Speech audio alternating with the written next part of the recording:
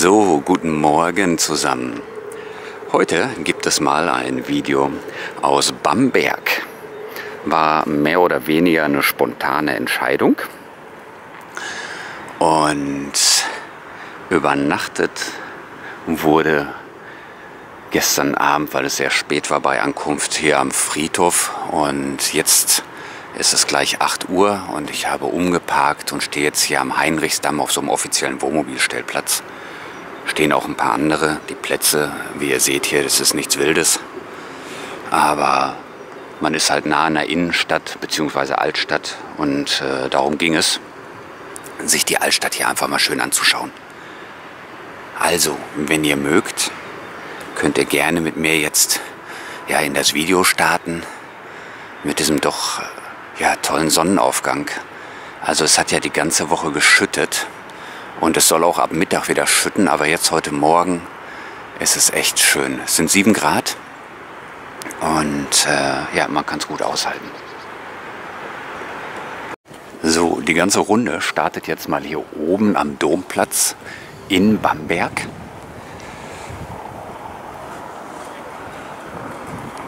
Und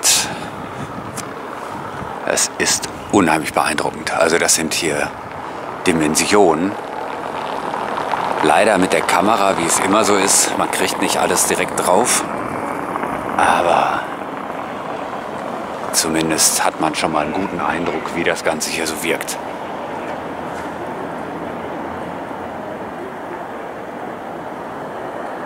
Das ist doch wunderschöne Bauten. In der Innenstadt selber auch wieder ganz viele kleine, enge Gassen, ich hoffe, dass ich da so das ein oder andere Schöne auch filmen kann gleich. Aber dadurch, dass es so eng ist, ist es halt vom Winkel her oft schwierig. Aber so, wie gesagt, wunderschön. Auch wenn man jetzt hier an so einem Tor ist. Ne? Aber reingehen, äh, das zeige ich euch gleich. Jetzt erstmal weiter rein. Ja, laufen und dann filmen.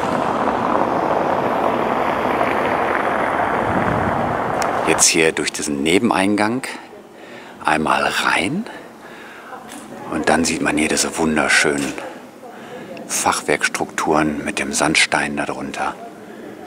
Da diesen umlaufenden Gang und ja, der Baumbestand hier ist natürlich auch schön mit der Bank, aber diese einzelnen Gauben oben auf den Dächern, die so übereinander angeordnet sind. Ups gerade in ein Loch getreten. Ich schaue oft hier durchs Kameradisplay und sehe gar nicht, wo ich hintrete. Ist das nicht eine tolle Kulisse hier? Und da im Hintergrund der riesige Kirchturm. Das alles hier oben am Domplatz.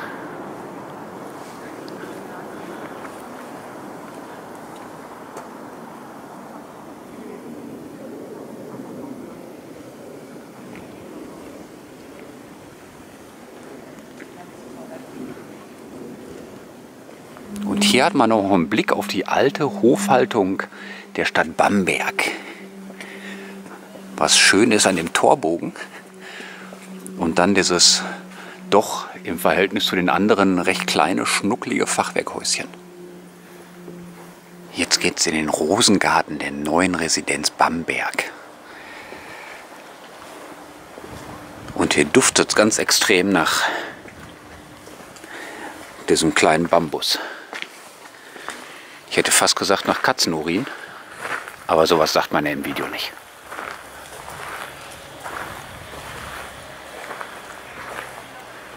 Klar, wir haben jetzt Mitte Januar, dass hier nichts groß blüht.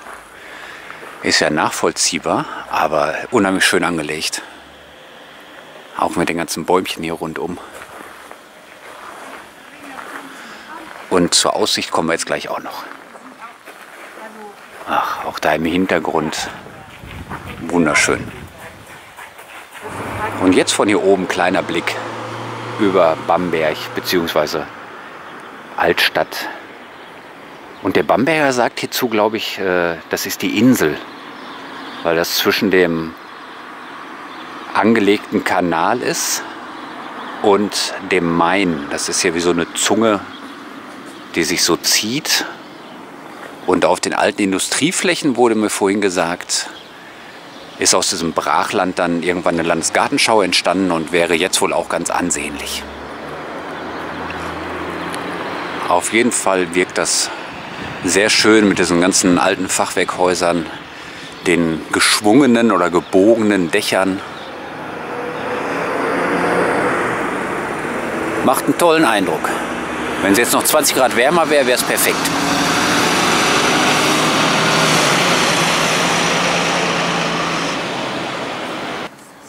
Nochmal hier so ein kleiner Schwenk über den Innenhof vom Rosengarten. Da ist in dem linken Teil, den ihr gerade gesehen habt, die Stadtbibliothek drin und auf der anderen Seite war, so wie ich das äh, gesehen habe, Museum. Wunderschön gemacht hier und instand gehalten.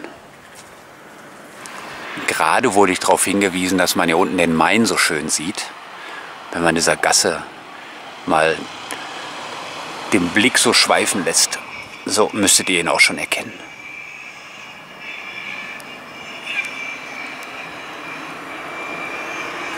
Und dort auch ein Hinweis ist das, wie heißt das? Schlenkerler Rauchbier. Das wäre wohl eine Spezialität hier im Bamberg. Wenn man Bier trinken darf, muss man das gemacht haben. Und zur rechten Seite nochmal ein kleiner Schwenk zu diesem Torbogen, den ich auch wunderschön finde. So, jetzt hier nochmal den Blick oben auf den Berg wo doch fleißig äh, saniert und restauriert wird. Da kann man nicht groß irgendwie was jetzt äh, sich anschauen, wurde uns auch schon gesagt. Daher sparen wir uns den Gang da hoch wahrscheinlich. Wenn nachher noch viel Zeit ist und das Wetter mitspielt, vielleicht, aber jetzt äh, schauen wir uns erstmal den Rest dieser wunderschönen Stadt an. Also hier nochmal zur Richtigstellung. In der einen Seite hatte ich ja gesagt, ist die Bibliothek und hier geht es rein zur neuen Residenz, zum Kaisersaal zu den Prunk-Apartments, Staatsgalerie und äh, diversen Sonderausstellungen. Ein wunderschönes Gebäude auch. So edel der Prunk über dem Tor ist, aber die Tour, Tür, Knäufe, ich denke an, ja, Türknäufe wird es wohl heißen, äh, sind doch auch mächtig. So, wie ihr hört, unser Stündlein hat geschlagen. Wir müssen weiter. So, und jetzt geht's einmal in den Dom hier in Bamberg. Hier werde ich jetzt nicht ganz viel quatschen, weil ich finde immer, das gehört sich nicht in Kirchen.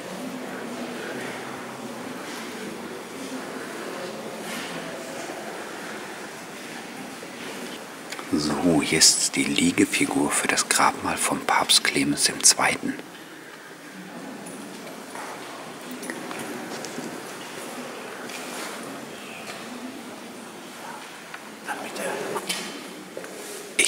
gerade darauf hingewiesen, die Kopfbedeckung abzunehmen von einem netten Herrn, äh, weil es hier wohl Aufpasser gäbe. Ich dachte, man wollte mir mitteilen, hier darf man nicht filmen. Aber, warum auch immer, mache ich natürlich. Ja, die Aufnahmen wirken gerade ein bisschen dunkel, aber mehr ist hier drin halt nicht möglich. Aber ich denke, man erkennt es trotzdem ganz gut.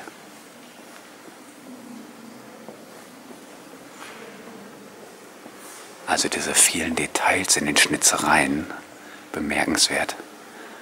Das waren schon wahre Künstler zu der Zeit.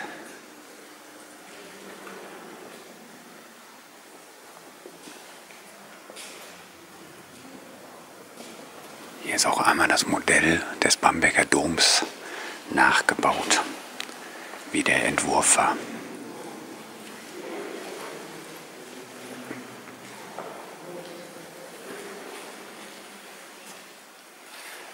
Hier geht es noch irgendwo runter. Man sieht nicht viel.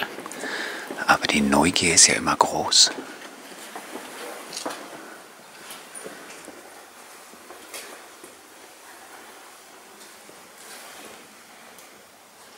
Hier liegt der heilige Heinrich.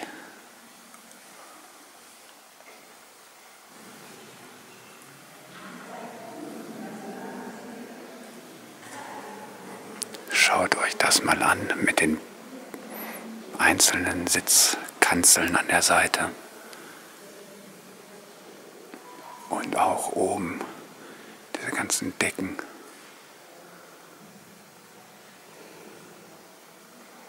Bis hin zum Kronleuchter. Und auch in die Richtung.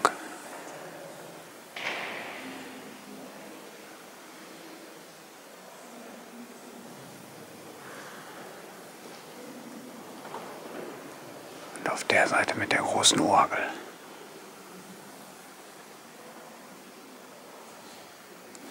Also so ein Dom ist schon Besuch wert.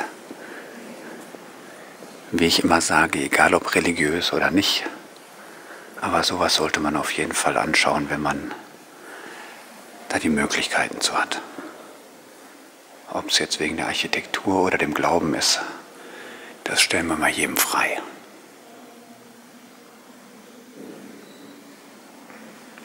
Auch hier kann man wieder die Kerzen äh, kaufen für 1 Euro und anzünden. Wir haben das jetzt auf der gegenüberliegenden Seite schon gemacht. Irgendwie doch ein gutes Gefühl, warum auch immer. Die Nagelkapelle auf der Seite ist zurzeit nicht äh, begehbar. Sonst könnte man die auch besichtigen.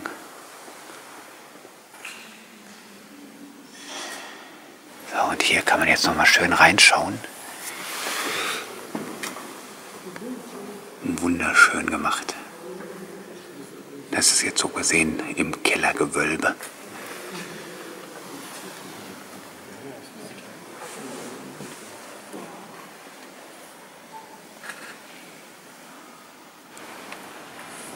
So, von hier oben der Schrein nochmal.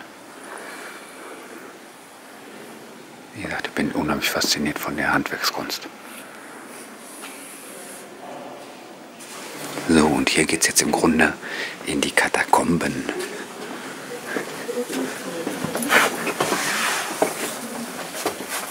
Ach, ich hoffe, man erkennt nachher was auf der Kamera.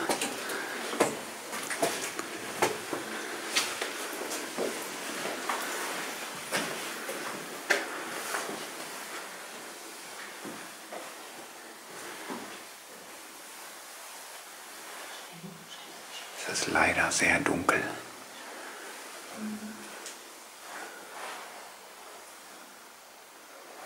Ich hoffe, man erkennt jetzt hier die Grabstätten. Aber es ist wirklich schwierig mit dem Licht.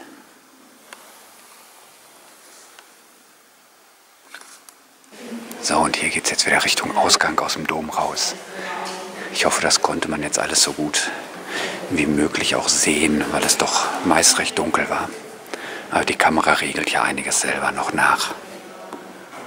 So, beim Rausgehen aus dem Dom hat man noch mal schön gesehen, die Figürchen hier am Rand. Also da rechts behaupte ich einfach mal, dass das Adam und Eva ist. Und auf der Seite bin ich mir nicht sicher. Ich bin ja nicht ganz so kirchenfest. Aber ansonsten unheimlich beeindruckend. Direkt, wenn man raus ist hier aus dem Dom, hat man auch wieder hier durch die Gassen den Blick und da auf diese schönen Häuschen, auf den Nebenflügel, wo hier die äh, Diözese drin ist. Echt klasse. Es ist jetzt wieder so ein schönes Gemäuer vor uns am Breusanium, wenn ich das richtig lese. Und wunderschön. Hier auch so klassisch schön mit den Bierbänken draußen. Sieht richtig einladend aus. Also das muss man schon sagen. Umso mehr man so Richtung Süddeutschland kommt,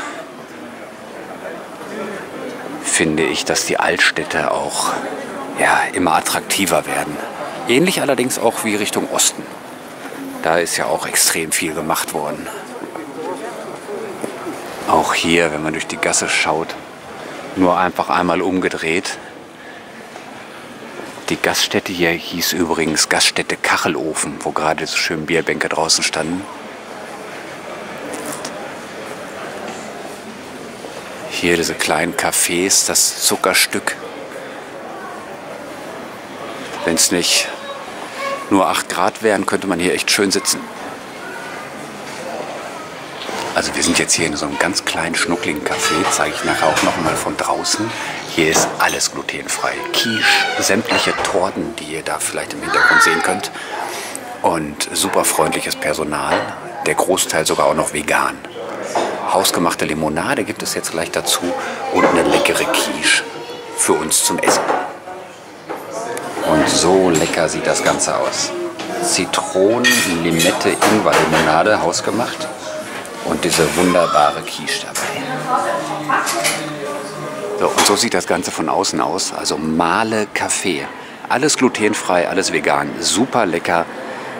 Ein Euro teurer, als wenn man Standard isst, aber definitiv jeden Cent wert. Nur zu empfehlen hier in Bamberg. An jeder Ecke gibt es gefühlt einen Brezelladen, eine Braugaststätte und auch so richtige Clubs noch in der Stadt. Musikbars. Was ja auch immer beeindruckend ist, hier die Farbwahl. Gibt es ja alles. Von grün über gelb, rot, altrosa. Man muss hier nur offen und flexibel an das Ganze dran gehen. Und so sieht das Ganze hier von innen aus. Mit den weltberühmten Glasfenstern von Markus Lübs oder Lüppertz. Ich sage es gleich nochmal genau, wie er hieß. Der stand nämlich hier vorne. Da oben die Fenster auch nochmal schön, wie das Licht da durchscheint. Steht es auch nochmal schön, das sind Glasfenster von Markus Lüppertz. Wirkt sehr modern für eine Kirche. So, hier, das Ganze nennt sich Klein Venedig, weil die auch hier das mit den ganzen äh, Schiffern und sowas früher gemacht haben. Ich werde dazu ein Bild einfügen, wo das nochmal genau beschrieben steht. Aber wirklich wunderschön. Und einiges steht auch auf Stelzen, wie in Venedig. Jetzt habe ich die ganze Zeit durch die Gegend geguckt. Ich hoffe, ich habe richtig gefilmt und nicht nur die ganze Zeit nach unten gehalten. So dass ihr auch was erkennen könnt. Auch hier gibt es diese Ausflugsschiffe.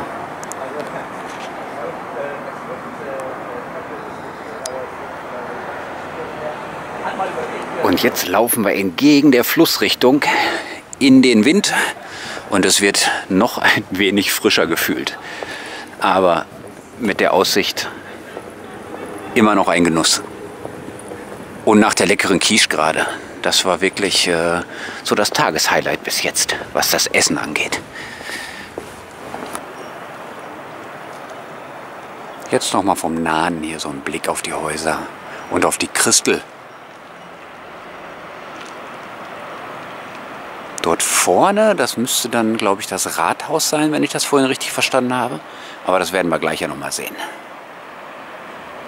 Oder da bei der Brücke war das Rathaus. Das soll auf jeden Fall so in der Mitte gebaut sein. So, hier geht es jetzt ganz standesgemäß ins staatliche Bauamt Bamberg. Die ersten Tore schließen sich schon. Also erstmal gibt es jetzt nicht ganz so viel zu sehen, wobei das Gebäude natürlich an sich wunderschön ist, so wie da oben. Aber da vorne ist noch eine offene Tür. Mit ein bisschen Glück gibt es ja noch was. Und hier steht auch noch mal was mit der Brauerei Ausschank und dem passenden Recht dazu seit 1405. Und der Blick hier in die Gasse ist ja schon wunderschön. Wenn man dann aber hier an diesem schönen Fachwerkhaus vorbeischwenkt, in die Richtung sieht man oben rechts so schöne Wandmalerei.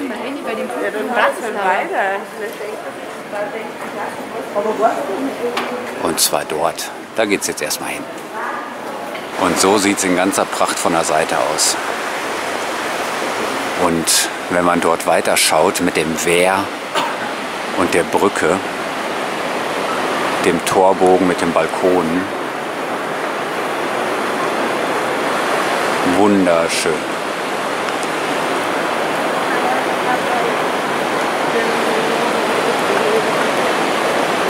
zu der Seite dieses wunderschöne blaue Objekt.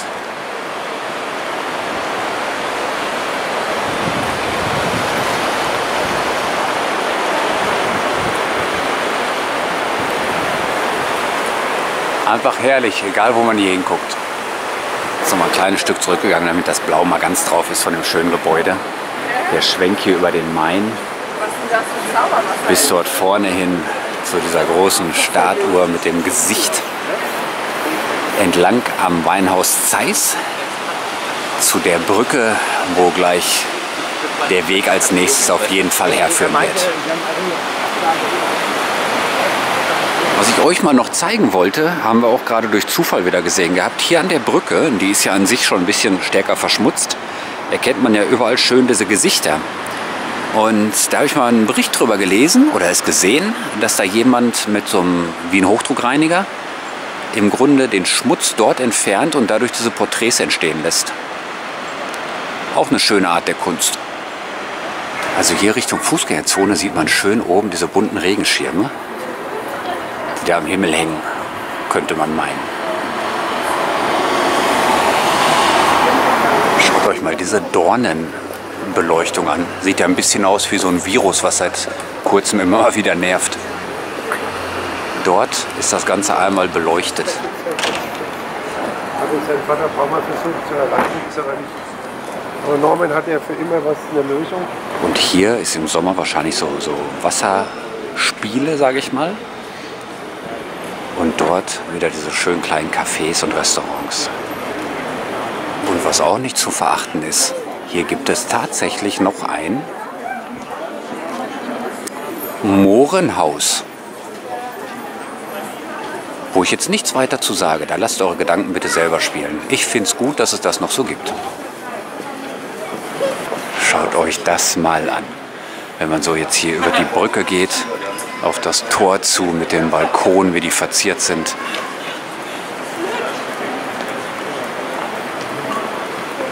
Die tollen Malereien. Gut, hier am Rand die Kreuzigung gehört auch dazu.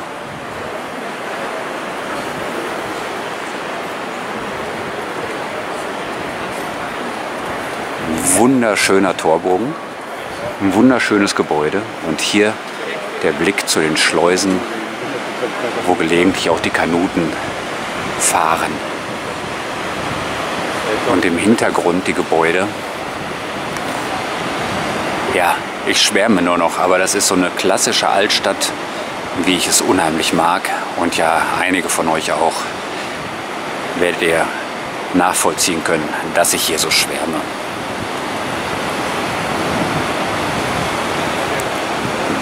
wunderbar.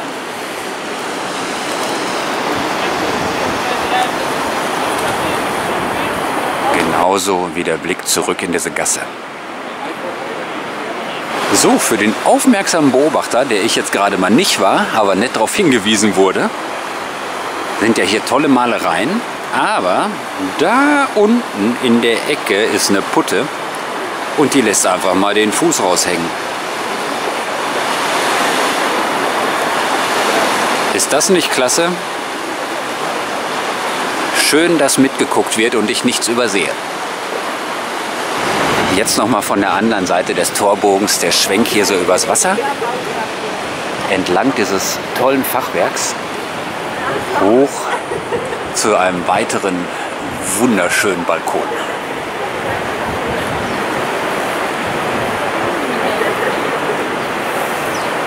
Schaut mal hier in die Gasse, sind alle Häuser schön, wenn auch da oben sehr sanierungsbedürftig.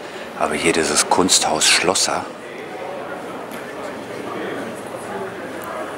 klasse. Ich weiß von der Perspektive, wenn ich das so hochschwenke, ist merkwürdig, aber anders äh, kann ich das hier gar nicht filmen. Ist einfach nicht möglich.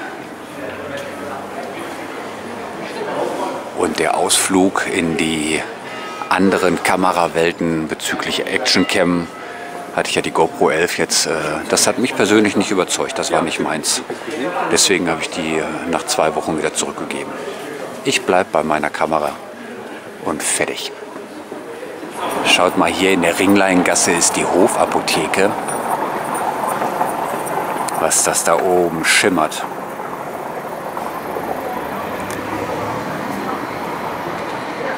Hier auch nochmal ein Blick auf ein altes Apothekengebäude von der Löwenapotheke. Oder die war dort zumindest untergebracht. Noch nicht zurecht gemacht, aber trotzdem schön. Auch hier eine weitere wunderschöne Gasse.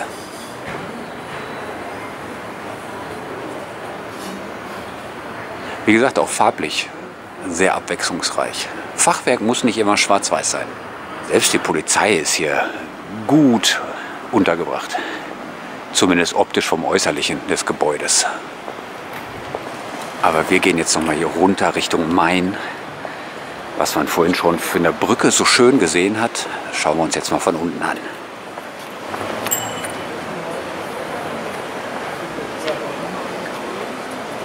So, hier das Ganze nochmal aus einem anderen Blickwinkel. Diese vielen Details, das ist echt so toll mit den Brücken.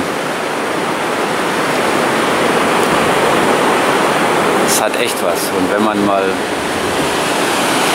schwenkt, auch sehr schön anzuschauen und im Hintergrund dann wieder die anderen Fachwerkgebäude, diese kleinen äh, Fußbrücken hier, Fußgängerbrücken.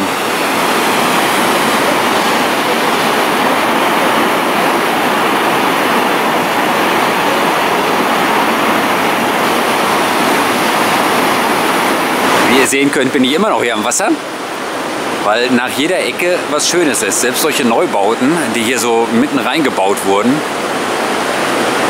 einfach Weltklasse gemacht. Und das sieht aus, als wenn unter dem Haus irgendwie so eine Schleusenöffnung wäre. Hat wahrscheinlich auch alles seinen Sinn hier. Sehr schön. Also hier die öffentlichen Toiletten in Bamberg an der Touristeninformation. Steht draußen extra dran, bitte erst 50 Cent zahlen. Und der Grund ist dafür, wenn man da drinne war, zahlt man den garantiert nicht mehr. Ich zahle gerne 50 Cent für so eine saubere Toilette. Aber diese Toilette, ich habe es äh, natürlich nicht gefilmt oder sonst was, aber der Boden voll gepinkelt, selbst die Toilettenbrille war dreckig. Und äh, es roch auch sehr unangenehm. Also das ist ein Negativpunkt. Der einzige hier in Bamberg. Aber das geht gar nicht. Wenn man dafür zahlt, muss es auch in Ordnung sein. Zumindest sauber. Auch wieder diese schönen Häuschen mit dem Balkon. Da vorne diese Brücke. Was mir gerade ins Auto, ach, ins Auto gestochen ist, ja, ins Auge gestochen ist, sind diese Pfähle, wo die Boote anlegen können. Sieht ähnlich aus wie in Venedig. Soll das hier wahrscheinlich noch mal ein bisschen unterstreichen mit das kleine Venedig.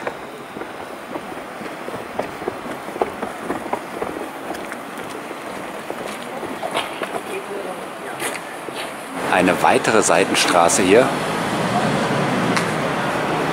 die auch wieder sehr schön ist mit den ganzen alten Gebäuden und alten Schriftbildern. Hier geht es jetzt in die klassische Fußgängerzone, wo gerade ein Markt ist mit vielen frischen Sachen. Und auch dort zur linken Seite und zur rechten Seite wieder wunderschöne Gebäude zu sehen. Und hier nochmal so ein richtig schöner großer Platz. Die ganzen Denkmäler hier sind natürlich sehr religiös geprägt, aber an sich trotzdem alles sehr schön.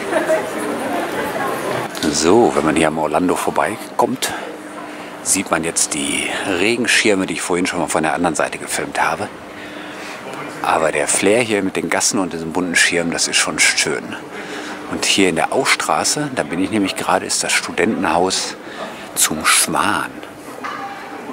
So als Studentenhaus schon nicht verkehrt. So, wir befinden uns jetzt hier in der Judenstraße.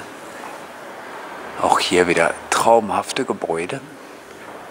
Aber aufmerksam geworden sind wir eigentlich auf diese Gasse, wo man nach oben hin auch diese einzelnen Geländer sieht, sage ich jetzt mal ganz vorsichtig, ich komme gerade nicht auf den Namen von diesen Steineinfassungen der Grundstücke. Wunderschön. Hier wieder so ein schönes ja, Schmuckstück am Wasser.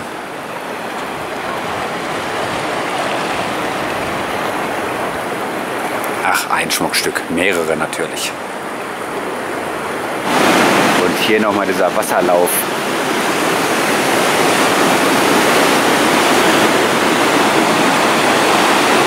hier nochmal einen Blick auf eine Skulptur.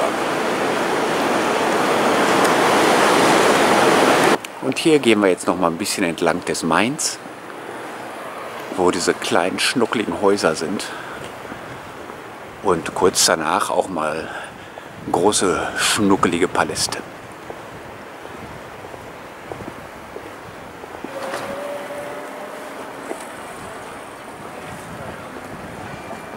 Da trifft moderne, ja, die Antike kann man im Grunde schon fast sagen.